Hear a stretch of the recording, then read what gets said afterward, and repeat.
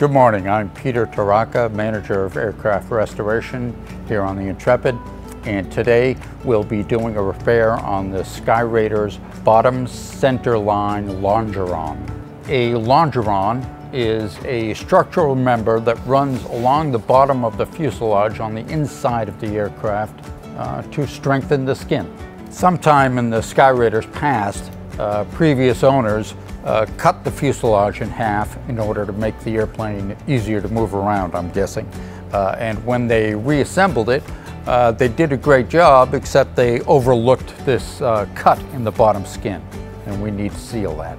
Now, when they cut it in half, they removed uh, what looks to be a three inch section of this bottom longeron that I mentioned earlier. Presently, this longeron is out of alignment and I'll be using a jack to bring it back up into alignment and then using these two pieces that I formed from sheet aluminum, uh, we will sandwich the longeron and rivet it in place so that everything will be flush.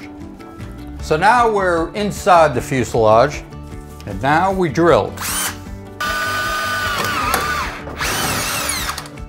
And every hole that gets drilled in this patch immediately put in a cleco to help lock it into place so that all holes that get drilled will be in alignment. Now we have this uh, repair all jigged up in place and ready to uh, rivet and make permanent.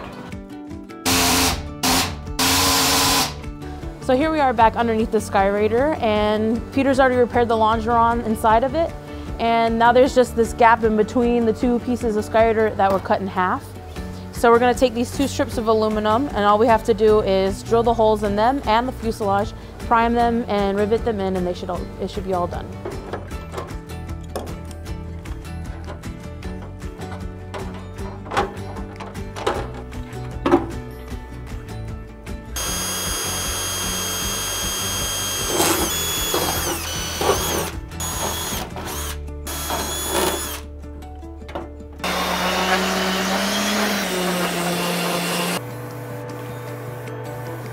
So we've primed the two pieces that we're putting on the inside of the fuselage and they're being held together right now with these clecos and uh, all we have to do now is rivet it into place and we'll be done.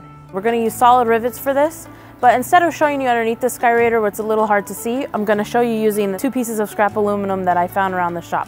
Okay, so here's how it works.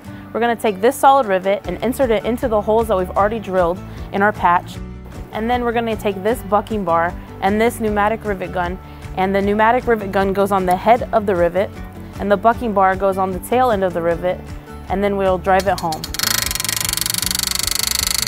Since the tail end of the rivet is actually inside of the Skyraider, this is going to have to be a two-person job. So somebody will actually be inside of the Skyraider holding this bucking bar against the tail end of the rivet while I set the rivet from the outside using this rivet gun.